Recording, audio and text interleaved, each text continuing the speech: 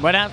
Ha, pasado una semana, muchas más ojeras, pero una sonrisa increíble para decir lo que ha sido esta campus para el área de ocio digital.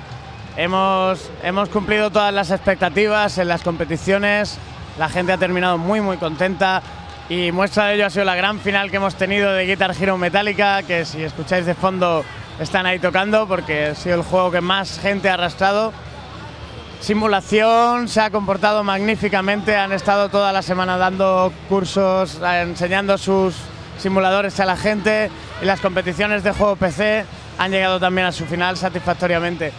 No sé, ha sido una semana de campus increíble, estamos muy muy contentos con el resultado y os esperamos el año que viene porque, porque pensamos que podemos hacerlo todavía mejor.